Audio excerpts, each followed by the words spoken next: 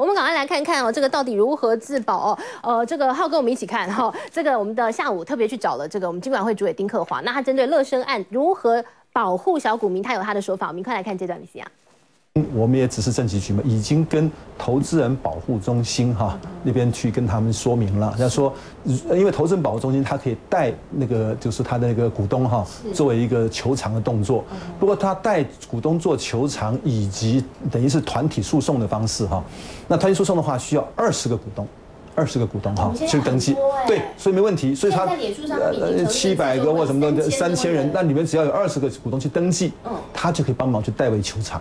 那代为求偿就是说去跟他打官司啦，或者是跨海也可以吗？呃，跨海哈，就就上次我们的经验哈，我那时候在吉宝的时候，有个叫尔必达的那个问题哈，也是发生了，他要被收被被那个并掉以后，他等于是那个价格等于是归零的问题嘛哈。那这时候呢，啊，要跨海，可能打国际官司不是不能打，但是呢会花很多的成本，不一定有好的效果。但是呢，我是晓得这个白齿干豆好像在国内有一些的。